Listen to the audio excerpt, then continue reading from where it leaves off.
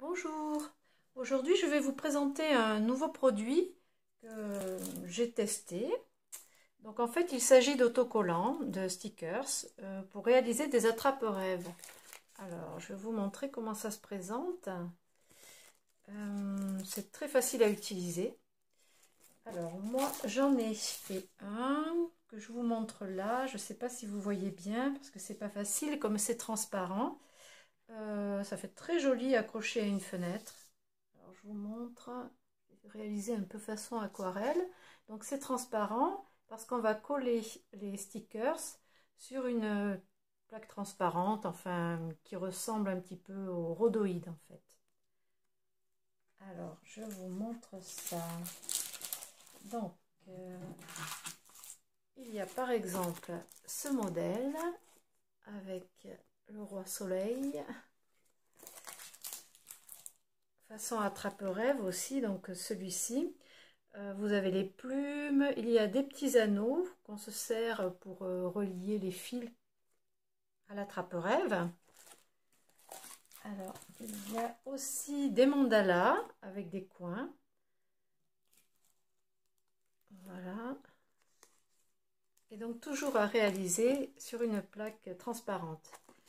Alors, elle est inclue dans le, dans le kit, on va dire. Dedans, vous avez la feuille.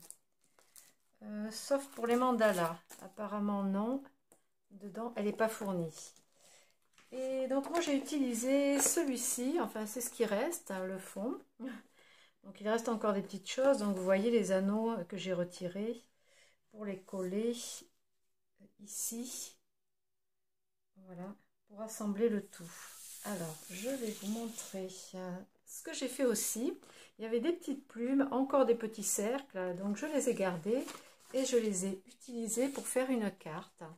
Je vous mettrai tout ça sur mon blog. Donc, euh, des petites plumes. Ce que j'ai fait, euh, c'est assez simple au niveau de la carte, mais c'était pour vous montrer différentes techniques.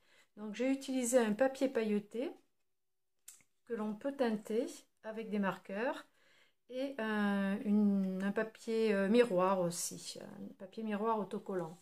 j'ai mis quelques strass. Là j'ai aussi embossé euh, le papier autocollant miroir et avec encore des stickers euh, de lettres, de texte. Donc je vais vous montrer donc comment utiliser ça. Moi ce que je voulais vous dire c'est que vous, avez trouvé euh, une vidéo de la marque euh, qui vous montre euh, donc comment faire ces attrape-rêves avec des marqueurs à alcool bien sûr de différentes marques. moi j'en ai utilisé plusieurs, donc j'ai testé plusieurs. alors les copiques c'est bien, mais alors ça fait un petit bruit qui couine à chaque fois qu'on passe l'encre dessus.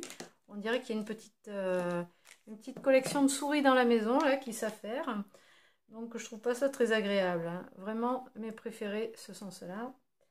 Euh, ce que je voulais vous tester justement pour vous montrer comment utiliser ça d'une manière différente. Je vais ouvrir ça et prendre les coins.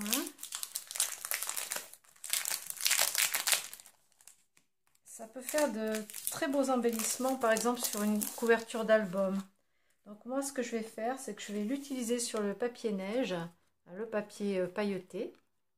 Donc je vais prendre du blanc pour pouvoir le teinter.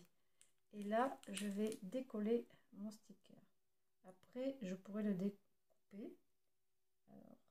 voilà. je le colle un peu euh, n'importe où, puisque de toute façon, je vais le découper ensuite. Voilà, ça tient bien. Donc, euh, le but pour colorier ça, c'est avec le feutre à alcool de ne pas faire de traits, mais de faire des petits points comme ça. En fait, ce qui va être intéressant, c'est que votre papier pailleté va être teinté surtout, euh, sur toute la partie et du coup, euh, vous aurez des couleurs pailletées. Alors, je vais mettre le, plus clair. Je fais ça assez rapidement pour vous montrer. Après, je suis sûre que vous pourrez encore développer euh, des techniques différentes, vous amuser, faire de jolis embellissements. Pour les cartes euh, de vœux, ça peut être intéressant. Donc là, je vais passer un tout petit peu de rose plus foncé. peu en partant du cœur. En fait, ça, ça n'abîme pas la pointe du pinceau si on tapote, juste comme ça, le temps que l'alcool s'imprègne dans le papier. Voilà. Je vais peut-être faire un cœur euh, jaune. Ah, ça va flasher. Hein. Le jaune là.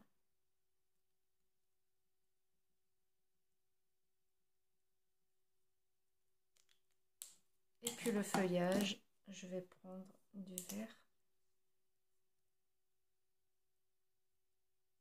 Alors celui-ci a une pointe fine, donc c'est moins pratique. Justement, je vais tester un petit effet relief là, en faisant un petit pointillisme. Et après, j'utiliserai la mine pinceau du Copic qui, lui, euh, remplit beaucoup mieux. Ça, absorbe plus facilement l'encre du Copic que celle-ci. je fais n'importe quoi là. C'est vraiment pour vous montrer euh, ce qu'on peut faire. Puis le rendu final aussi. Pratiquement la même teinte, donc on voit pas trop de, de différence à part l'aspect euh, plus granuleux.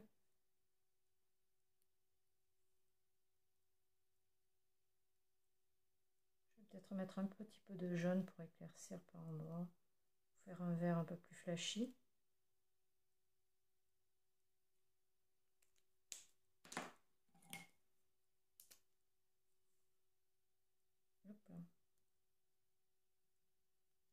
Bof, oui, ça se voit un petit peu quand même, ça se voit.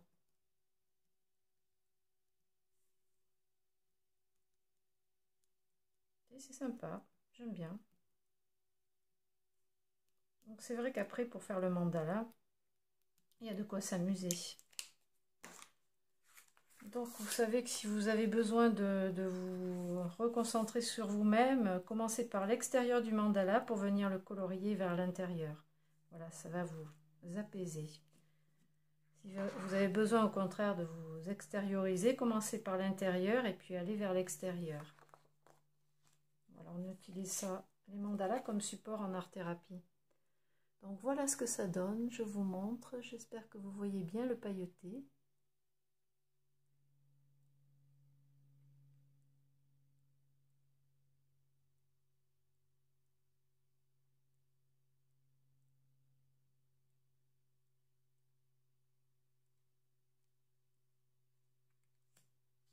Eh bien, à vous de tester tout ça. Amusez-vous bien, vraiment, il y a de quoi faire, c'est super agréable. À bientôt